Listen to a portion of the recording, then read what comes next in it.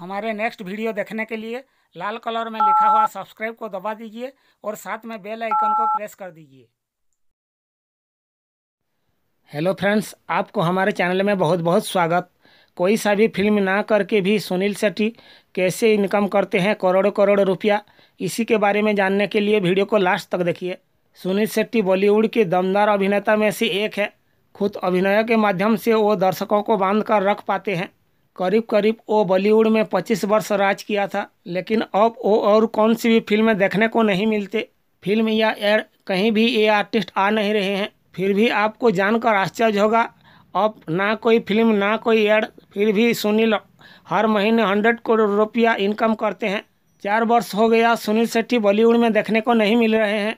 उनको और फ़िल्म नहीं मिल रहा है, ऐसा कुछ चर्चा हो रहा है, लेकिन ये टोटली झूठ है।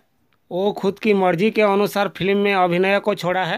फ़िल्म छोड़ने के बाद भी वो हर महीने हंड्रेड करोड़ कमाने के लिए सक्षम है। फ़िल्म के बाद भी उनके खुद के कुछ संस्था है, जिन पर बिज़नेस करके वो हर महीने बहुत पैसे इनकम करते हैं। एक अच्छे एक्टर के साथ साथ एक अच्छे बिजनेसमैन हो पाए हैं सुनील शेट्टी। सुनील के मुंबई में करीब करीब बीस से ज़्यादा स्टार होटल है। मुंबई के अलावा भारत में कुछ जगह में वो उनके होटल बिज़नेस करते हैं। उसके साथ साथ वो खुद एक प्रोडक्शन हाउस के मालिक है।